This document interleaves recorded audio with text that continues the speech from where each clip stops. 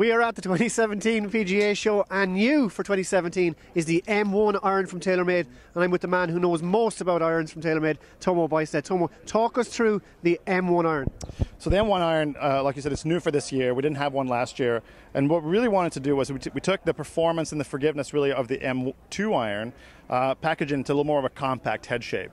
Uh, we know that there's golfers out there who really uh, prefer a little bit less offset, a little th- thinner top line you know, people perhaps who used to play smaller clubs like blades or, or forged cavity backs, but really want the performance that modern irons deliver. And that's really what the goal was with this product. Okay, let's go through the features of the product. Let's break it down. Yeah, so basically, uh, we took the basic concept of the new M2 iron, which is uh, a really low CG. So we have fluted hosel, we have 360 degree undercut, um, very low CG. We also add an element uh, of multi-material in this product. So we have a tungsten weight, a very high density tungsten weight here in the toe, which lowers that CG and creates more inertia, more forgiveness in the product.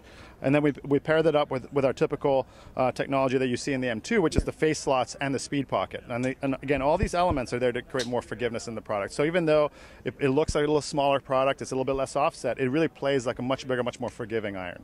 Okay, now in another video we've looked at the M2 iron, and this is the M1. So what category of player is looking to buy this iron as opposed to the M2? Well, really, uh, when you look at the performance of this, it's going to be almost indistinguishable from M2. It's very high performance, very long, goes very high, it's very forgiving. But really, the, the main difference is going to be the visual, right? So if, if you're a player, you like to work the ball a little bit, you like to hit low and high shots, perhaps um, or you just have more confidence with a smaller iron, this is going to be the iron for you. You still not you're not going to give up on any performance uh, that you typically would get from an M2, uh, but again in that smaller, more workable package. So people with higher handicaps need not be afraid of the M1 iron. No. It's it's as good for them as the M2. Absolutely. So you know we see a lot of people who are 15, even 20 handicap players who just like something more compact to look at, yeah. who are just enjoying the M1 tremendously. So uh, we expect both irons to have a lot of traction. Obviously, golfers are all different; they're all unique, and that's really why we created this product. Great stuff. Well, there it is, the new M1 iron from TaylorMade. My thanks to Tomo Bystedt. Make sure and check it out on golfbidder.com.